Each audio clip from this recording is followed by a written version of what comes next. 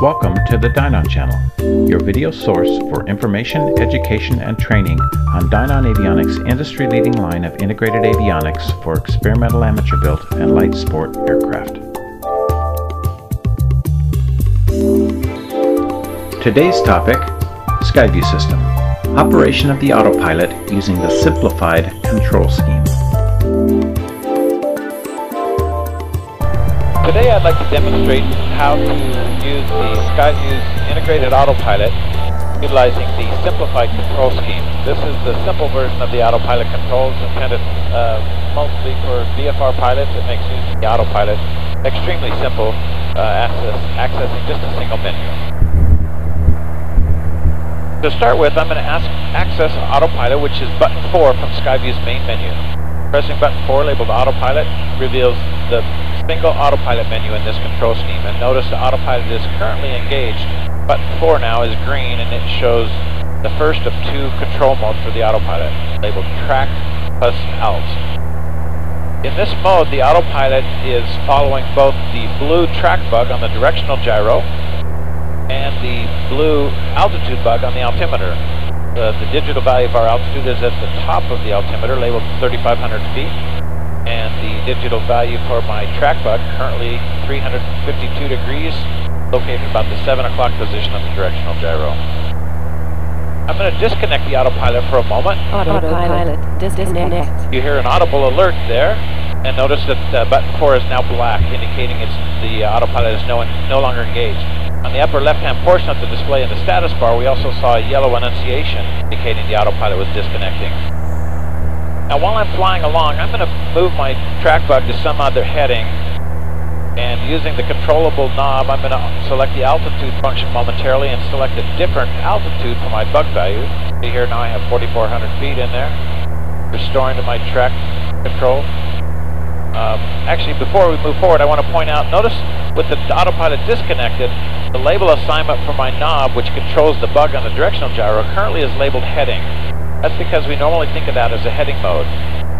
When I engage the autopilot in the track plus altitude mode, the label for that knob will switch to track. That's because the autopilot will be following the drug, the bug as if it were a GPS ground track bug. Now I'm going to press button 4 to engage the autopilot. Notice the bug, the, the label for button 4 turns green, indicating the autopilot is engaged.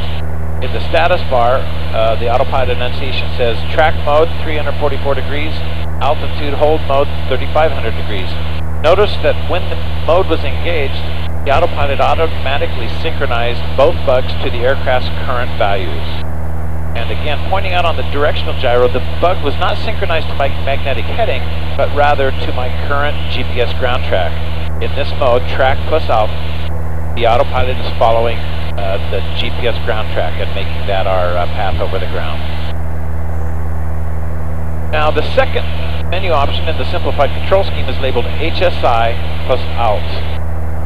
Uh, this mode is somewhat similar. It will, it will hold our altitude, but rather than following the bug on the directional gyro, it's going to follow the course line. Notice I already have a nav source assigned to my HSI and I have a current needle uh, which shows that I'm currently off course to the right. I'm going to press button 5 labeled HSI plus Alt. Autopilot mode. The autopilot gives me both an audible annunciation and it changes the status in the status bar to show we're now following GPS. Notice the autopilot is establishing a left-hand turn. It will set up an intercept for our course line on the HSI. Now similar to the first mode, the autopilot synchronized my altitude bug to my current altitude, rounded to the nearest 100 feet. So we're uh, holding altitude at 3,500. And see here, the autopilot has established about a 30 degree intercept to that course line on the HSI. Now, to avoid uh, heading towards airspace, I'm going to switch back to the track mode, track plus Autopilot mode. And I'm going to rotate my track bug using the left knob, and we're going to turn back towards the north here, and we'll explore the last two uh, autopilot controls on this menu.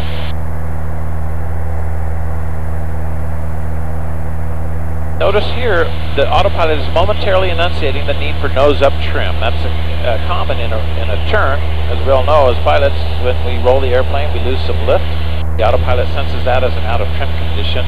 You can trim the nose up, but once the autopilot rolls us out smoothly, I wouldn't be surprised if we get a nose down trim annunciation.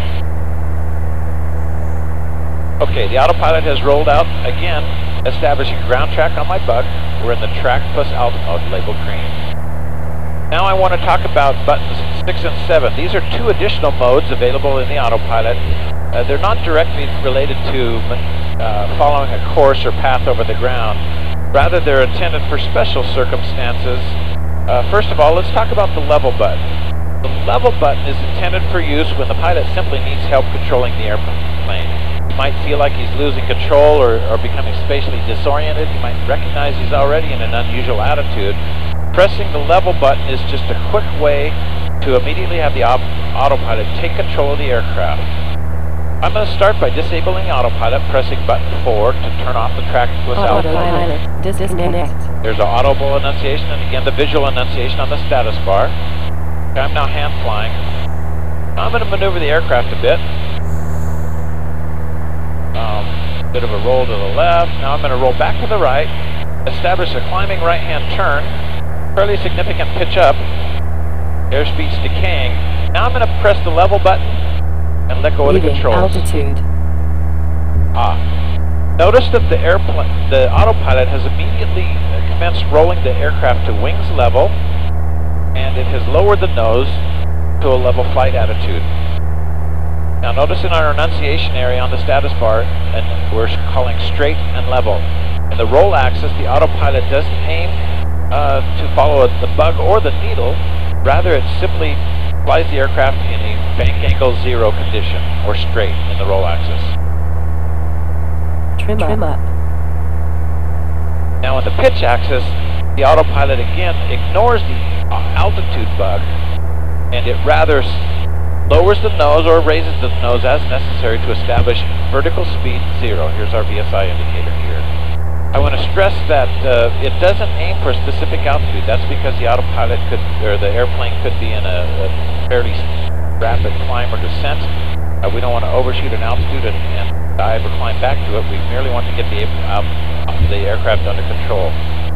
I would also stress that the autopilot uses essentially the same methodology when the level mode is activated as the pilot is trained to do uh, when recovering from an unusual attitude and that is, again, roll wings level first, then pitch for a level attitude. I'm going to disconnect the level mode. Oh, I want to uh, point out one additional component. I'm going to press button 2 to turn off that mode. Autopilot disconnect. I want to also point out there's one additional method of uh, activating the level mode, and that is by wiring it to a, a dedicated button on the instrument panel. In our aircraft, we have such a button. It's currently out of control, but by pushing that remote button on the instrument panel, it instantly activates the level mode. It's a great way to have quick access to the level function, no matter what uh, uh, menu you might have displayed at any given time. Autopilot disconnect. Oh, okay, again, I've disconnected the autopilot.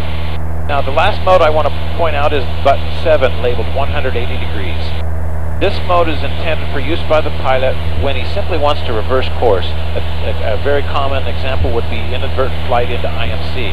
I don't know for sure where I want to go, but I know the weather was blast good behind me. When I press the 180 degree button, a couple things will happen. Pressing button 7, Notice that button turns green, but also the track plus altitude button turns green. Those modes are related. First of all, the autopilot again synchronizes my altitude bug to my current altitude. It sets the bug there and it will hold that altitude. It also commences a 180 degree turn. First, it synchronizes the heading or track bug not to uh, my current GPS ground track, but, but to the reciprocal, and it commences, in most cases, a left-hand turn to intercept that bug. Now we're going to be turning into the sun here. I hope the camera view is okay. The autopilot will proceed on through the turn a full 180 degrees. As we approach the track bug and the directional gyro, you'll see that the 180 degree uh, menu button will in fact turn black and the autopilot, it's just done that now, and the autopilot will now continue on in the track plus mode. Uh, Now, uh, I'm going to, uh, using the track bug, I'm going to turn us back away from the sun so we're no longer staring right into that. And uh, talk about just a few more uh, features of the autopilot, namely how to disengage the autopilot. You've already seen me uh, use two methods on screen. First is by pressing the menu button for the mode which is currently labeled green. So I'll do that now. You'll see me turn off the Oh, track plus autopilot. altitude mode by pressing that button. I'm hand flying now. Now I'm going to restore that mode. I'll press that mode on and the autopilot will fly this heading and altitude. Second, notice that button 2 is labeled off. Pressing button 2 will disconnect the autopilot regardless of which of the other, which of the four mode buttons are enabled. Pressing button 2 now. Autopilot. Disconnect. Again, my audible annunciation and the yellow annunciation in the status bar. Yellow flashing means that the autopilot is disconnected. Turning the autopilot on once again. The last common mode for disengaging the autopilot is the uh, disconnect switch located either on the control stick or the control wheel. I'll press that now, which is out of view of the camera, Autopilot. Disconnect. and the autopilot is disconnected. Okay, I think we've covered it all. I hope you've seen that the uh, Skyview's integrated autopilot is extraordinarily simple to operate in, uh, when using this simplified control scheme. Two primary modes on buttons 4 and 5, and two special modes for special circumstances to help the pilot uh, when um, he just wants things stabilized. Thanks for joining us.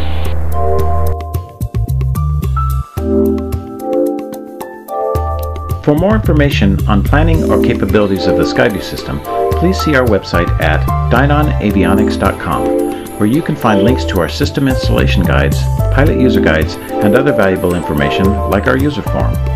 Thank you for watching the Dynon channel.